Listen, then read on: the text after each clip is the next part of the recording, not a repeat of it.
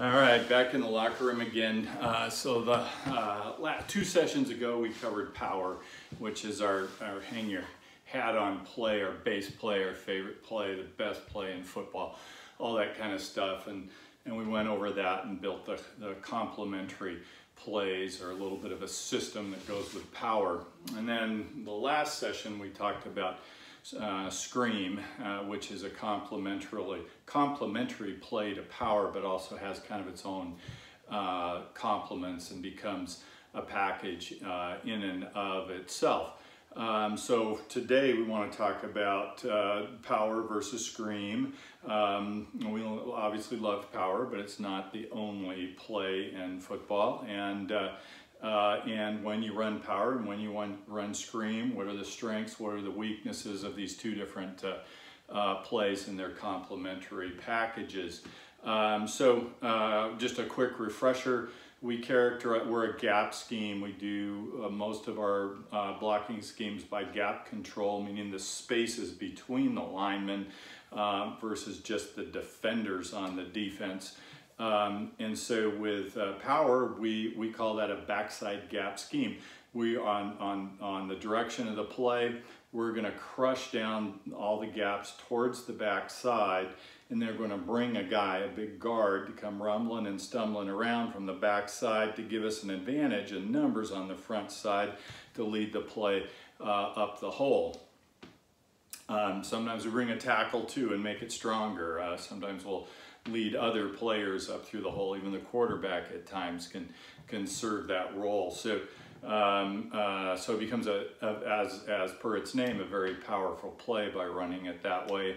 And it's relatively easy, and we can be very aggressive off the line of scrimmage to smash down those backside gaps away from the direction that the play is going. Um, you know, if we get a little bit over aggressive perhaps and somebody leaks through, frequently we can get them washed to the backside anyway just by their momentum. Um, so, um, you know, power is a, a, a, play that we feel real comfortable running, you know, anywhere, anytime. Um, so with, uh, with Scream, it's also gap control uh, run blocking, but we're trying to uh, uh, gain a gap. So we're, we're attending to the play side gap and each lineman is trying to actually gain a gap. Well, sometimes that's easier said than done. Um, it's also a little bit slower developing play. Um, and it also hits a little bit more at an angle. So it is a play that's a, you know a little bit more at risk uh, potentially for one of the linemen getting his door opened uh, and just by the length that it takes to develop and the angle of attack, it's a little bit more risk uh, for uh, a loss of yardage. And, and we don't necessarily accept that. We, you know, our, our concepts with with both uh, power and scream are that we're not going to lose yardage. We're not going to do a lot of bubbling off these plays. We're going to um, you know, really attack the line of scrimmage and make sure we get positive yardage and stay on the chains uh, uh, uh, as we prefer to be a run-based offense versus a throw-based offense and staying on those chains, uh, not getting behind uh, distance and uh, on the downs, you know, we can be pretty effective.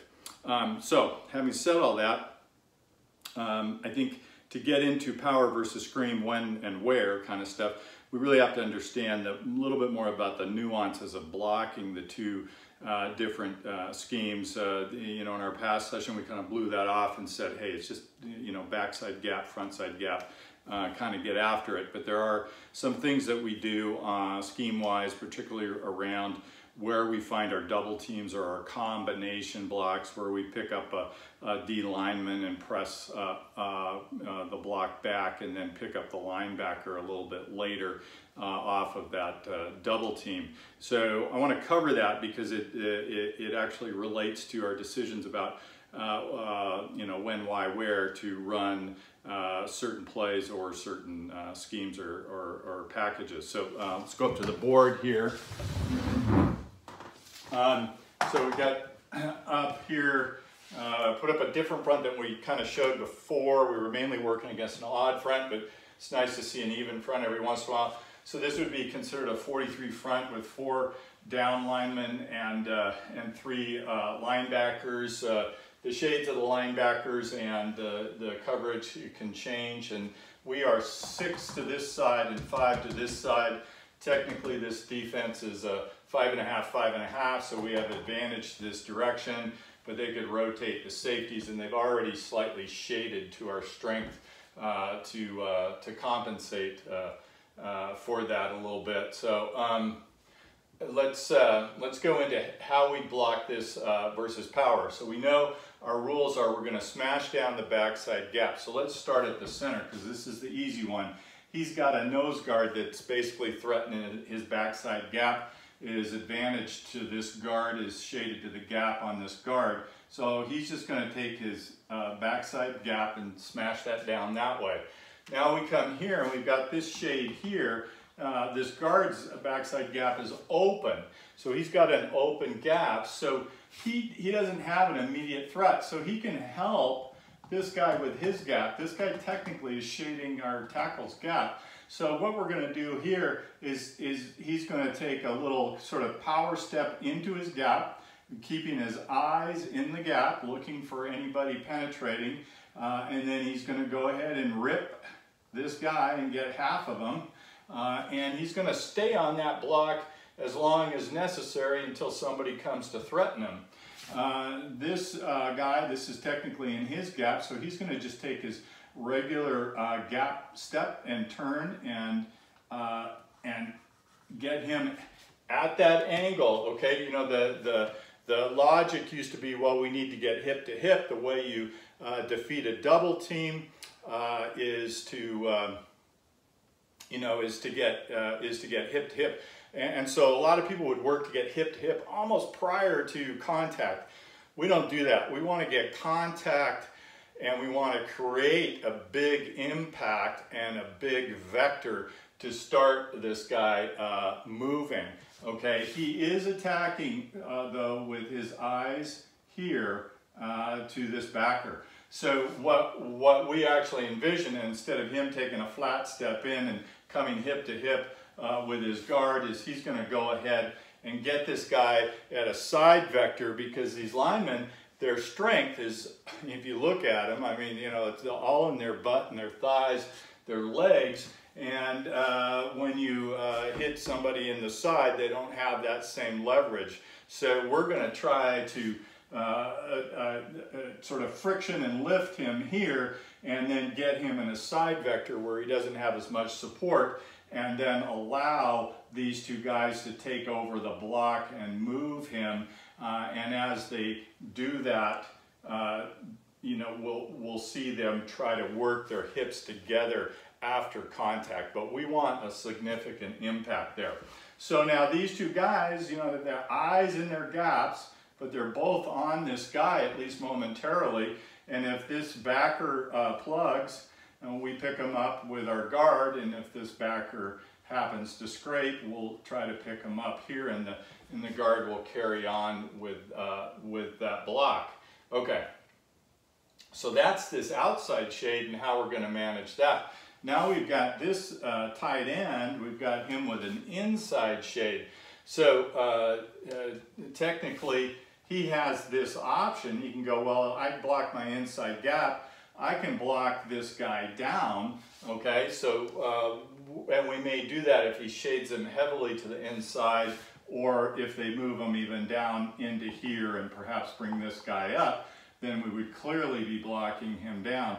But if he gives us this, this shade as an end man on the line of scrimmage um, with, let's switch to red here, with uh, a guy out here kind of shading there, we actually may take this guy and tell him, you widen, go get him.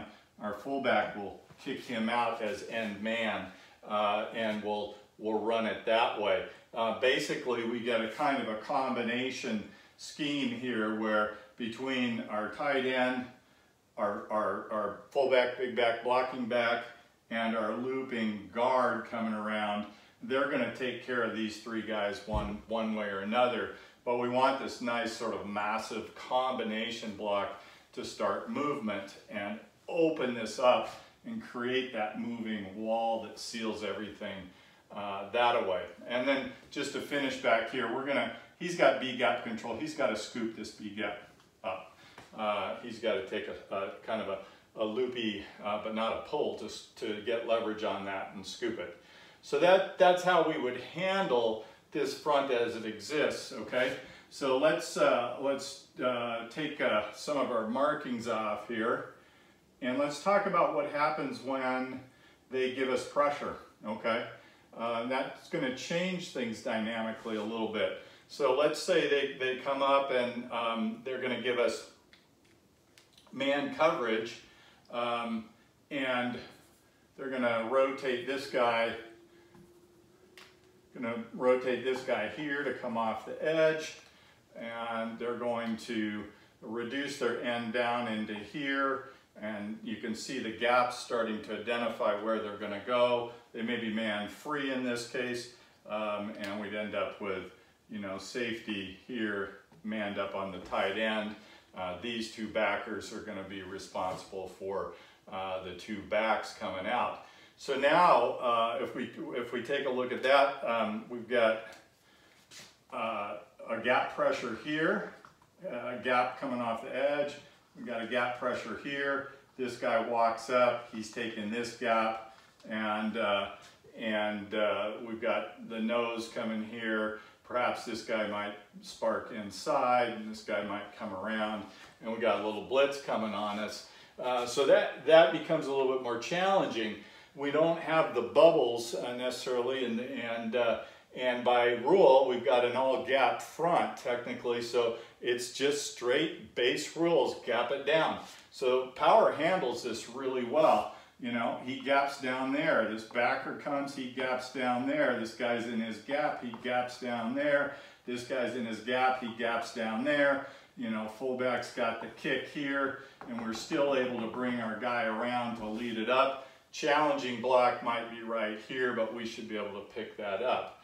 So uh, even if, you know, even if they hit every gap, uh, we still have the ability uh, to block this uh, just fine. in fact, and sometimes we really love it. Sometimes you can get a mismatch, you know, in a gap, but uh, we really love it when people want to uh, just all out blitz us because uh, if we go to either our what we would call our, our middle zone or wedge type play uh, or this we can handle all the gaps. And a lot of times it's you know a 50 yard touchdown when they get uh, kind of desperate. So um, so that's cool. Um, so let's uh, let's put up the same front but let's let's go to, you know, kind of our screen concept a, a little bit more. So let's uh, go ahead, we'll leave a tight end in, uh, but we're gonna spread it out a little bit and we'll stay under center. Uh, we could be we could be in the gun as well uh, with this. Oh, we flipped offense and defense. Okay, that's cool. So now we just put Mike Leach on uh, offense. Um, so we got our nose here and tackle and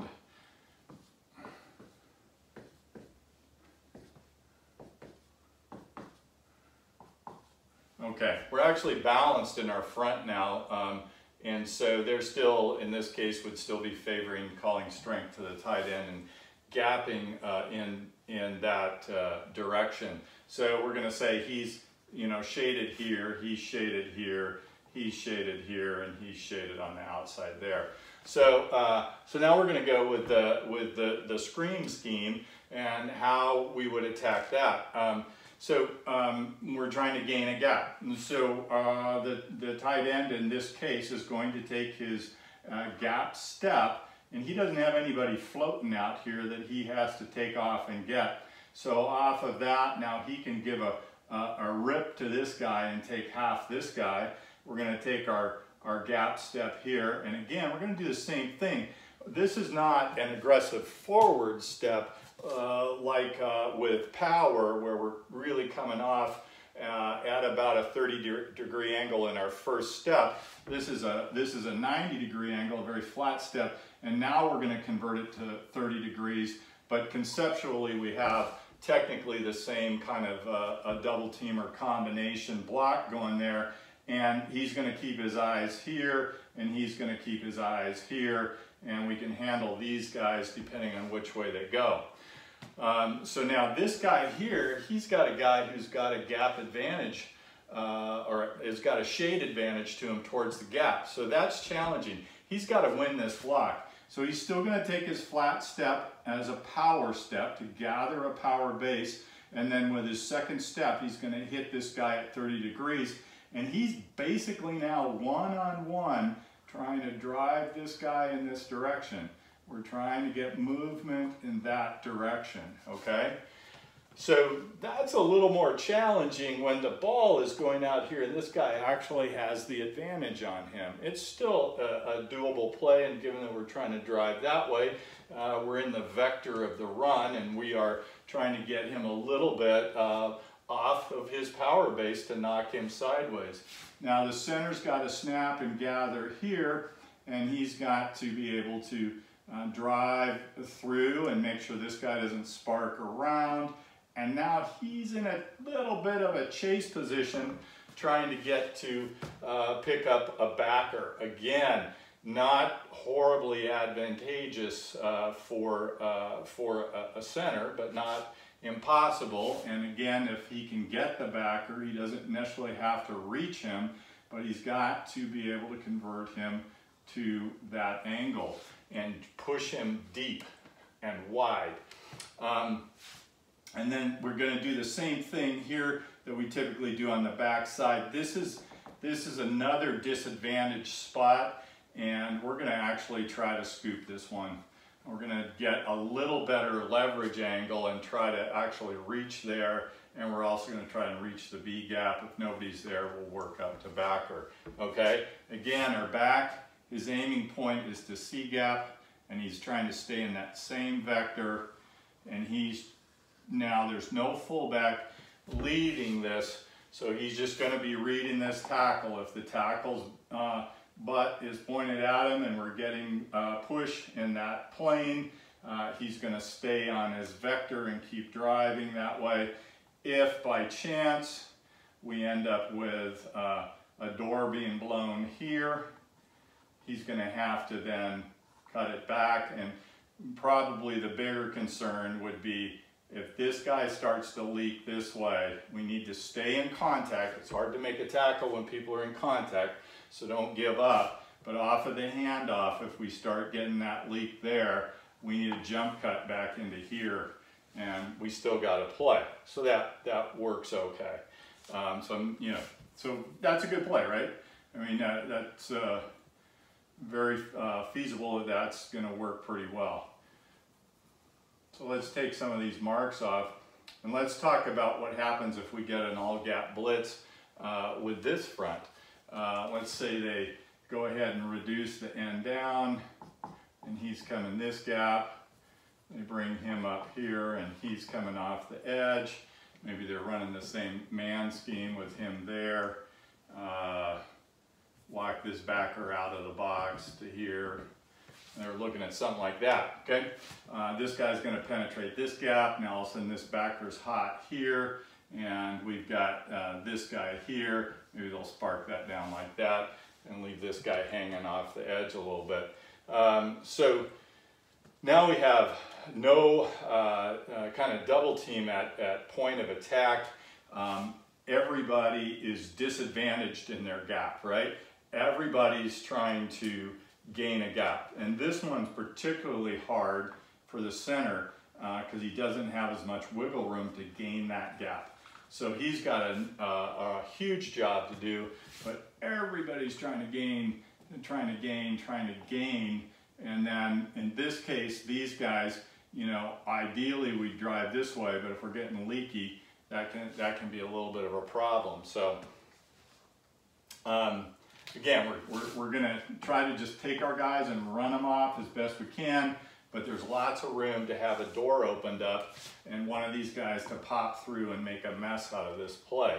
And uh, uh, so that's what we need to conceptualize is when is it that we can have that kind of uh, gap front. Well, you know, a team that loves to blitz and take risks, uh, we also tend to see this type of thing. Uh, the closer you get to the end zone, uh, you also tend to see this like inside your own 10 when people say, hey, they probably won't score a touchdown. Let's take a, take a chance of really burying them in a hole here. Um, and, uh, and if you're in your four minute drill and you're trying to kill a game and these guys got nothing to lose, you're probably gonna see this, okay? Now the other time that people feel more comfortable giving you this kind of a look or just basically not even necessarily blitzing, but as the field gets shorter. So as you move into the red zone and the end zone uh, is, uh, the back of the end zone is another defender. Remember the sidelines are defenders and the back of the end zone can become another defender when the safeties don't have to worry about dropping deep because the back of the end zone is defending, helping them defend the field. The safeties can come up and sit in here and where the little running creases occur, you know, in, in a, in a, uh, a scream or play side gap uh, type play where you can get a jump cut to the back side, now you got safety sitting right in those running lanes.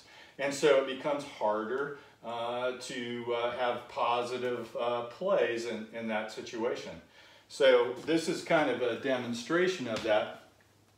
If we're sitting here on um, our own 25, right? Uh, and we've got all this field for the defense to defend. Uh, what are they going to do? They're going to be a little less likely to compress the front and blitz all of the gaps, uh, potentially give up a, a big play.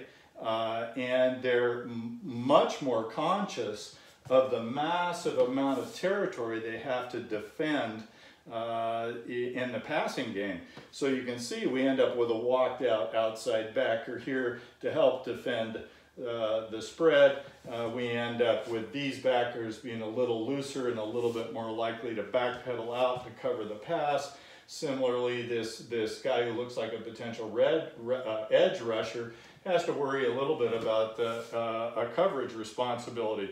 So there's a lot more green to be taken advantage of uh, you know, from the from the, the, the 20, maybe even you know the 15, a little back in here, it's a little more scary perhaps to get a gap blitz kind of concept going. And you can pretty much run the field uh, until you start getting in the red zone. And pretty soon that field gets pretty tiny. The zones get smaller. The ability to run around and man gets tighter. The safeties and linebackers are closer to the line of scrimmage if they're not actually gap blitzing and it becomes more and more difficult to get a play side gap scheme off without getting crushed. And th this is the phenomenon that you end up seeing, you know, every Saturday and Sunday is that these teams put up enormous yardage that are running more of a spread system, an air raid type system.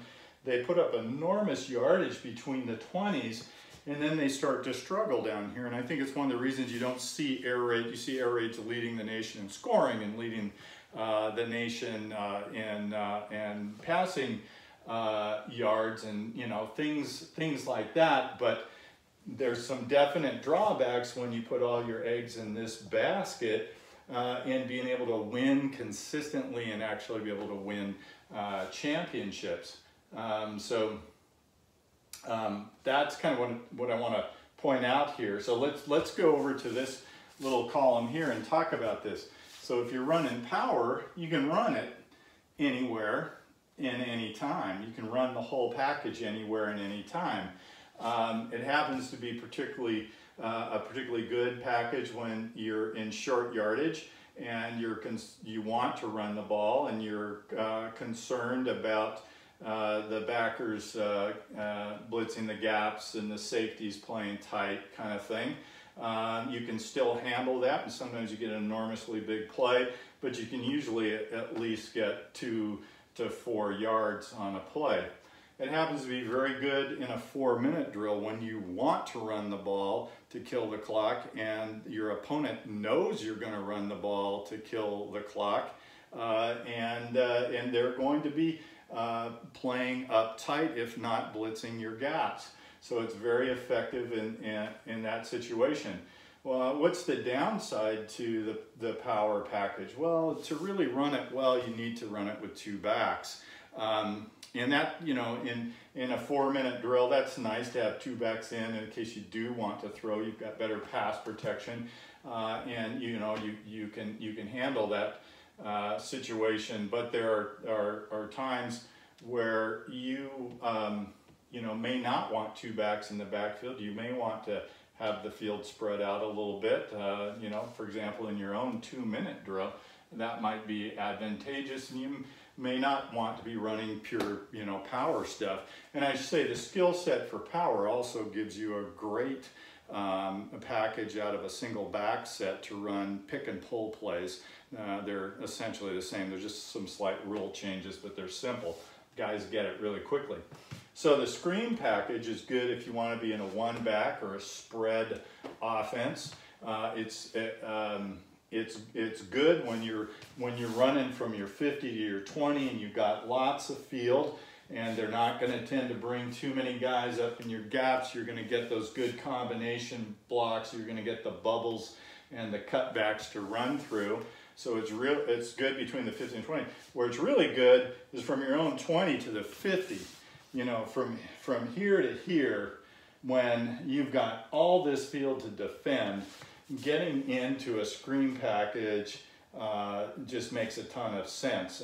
You are going to find the creases to get up in there um, and uh, taking a little longer to to find them and hit them and even being at a little bit of a uh, more of an angle um, is going to be advantageous. Plus, this you know nicely sets up all of the stuff that can come when you get in a gun or even a pistol, uh, preferably the gun, I think, uh, for pass protection. But you you know you've got your you, you, you've got your inside play and your outside play. You can run a little pick and pull inside here as well. Uh, and you've got a nice uh, quick passing game, quick screen game. You got a lot of stuff going to take advantage of all this field space available to you. So, um, so it's really good between uh, your 20 and the 50. And then it's really good in the two minute drill. But as we said, uh, from the zero to 10, so down here coming out, you know, that's just not what you really want. You, you want to be able to get yourself some room. You want to get, you know, at least a yard, but preferably, you know, four yards of crack. Um, and, uh, and maybe a really nice play action pass down there where you've got two guys in the backfield to help with protection uh, is, is great in this area where people like to kind of tee it up on you. Um, so I don't really like, I don't like it down there. You can, you can run it, but I don't love it. Uh, and then uh, when you're going in, when you start to get to the red zone, it can get progressively worse as you go from the 20 to the 10 to the 1 because you can see as you go from the 20 to the 10 to the 1, the field gets extremely tiny and these pass defenders, they don't even have to drop uh, at some point. You know, they're going to man you up. They're going to give you a lot of gap pressures. You're going to have to get the ball out in a hurry. Um, and, you know, you, my, my attitude is, you know, if I'm first and goal from the two, I'm going to run it in. You know, I, I'm not going to take three downs to throw two fades and then try a slant and, and feel good about walking away with uh, being unable to run it in from there. But you see that uh, every every weekend uh, because uh, uh, people, um, you know, they, they stay with their rules, and we're not going to get into the rules of uh, of, of spread offense in this deal. We're just mainly talking about what's happening in the gaps and why a zone type offense tends to fall apart in this part of the field. Um, so again, short yardage is another time where people are willing to, to convert, to be able to get the ball back. They're willing to gamble a little bit more. They're going to press the backers, press the coverage up a little bit, and perhaps hit your gaps a little harder. Uh, and so on short, uh, short distances, it doesn't work. And then this is where it, uh, it's a real failure in the four minute drill. If all you run uh, is a zone scheme inside or outside, so, you know, kind of our, the outside being sort of the screen concept, if that's all you run, uh, it, when you have a lead and you're four minutes to go in the game and you want to drain the clock and walk away with a victory, and this is all you've got, uh, you're in trouble. And I've seen this over and over again with air raid offenses uh, that may have a, substantial lead at five minutes to go in a game, uh, and with the inability to run the ball and, and pass protect and they throw and they get incompletes, they leave you know a fair amount of time on the clock uh, for the other team to come back and get some scores. So um, you know I think that the the bottom line here is is uh, uh you know there there there are probably a few more minuses in in, in terms of uh, running a a, uh, zone spread concept. Um, but the fact that it can move the ball so well from here to here, you know, it it is uh, should be a viable part of any package if you can integrate it um, into your overall system. Um, and then uh, there's just a lot of pluses here to be, eh, you know, I don't believe you can win championships unless you can uh, control the ball, control the clock, which means you're going to run the ball. And so a power uh, based offense becomes uh, really key. Um, and, you know, uh, it's not it's not that there's anything wrong with running zone. I don't mean to imply that, but I think um, hanging your hat on zone has enough drawbacks that we've you know kind of outlined here uh, that it, it, it, needs to be a complementary package uh, and that your uh, you know the, the stuff you hang your hat on is really the stuff that football's made of is kind of getting after it and running the ball downhill and that's it for power versus screen. Thanks